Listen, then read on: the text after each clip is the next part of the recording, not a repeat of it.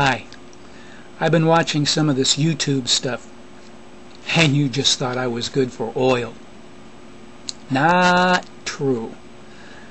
There is not an epidemic of MRSA. It's been around ever since, well, before me. It's been hanging around, infecting people.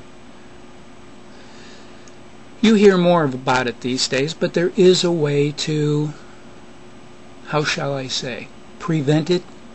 And if you have it, you can get rid of it. You don't have to live with it. Antibiotics aren't the answer. You're in a pickle, a twisted pickle.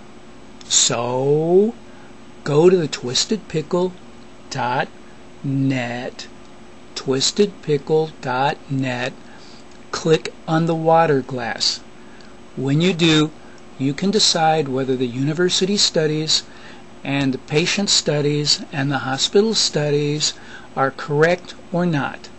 And you may question why so many clinics would rather spend their time three or four times a month with you, charging you two or three hundred dollars per visit instead of being able to cure you or at least come very close to a cure.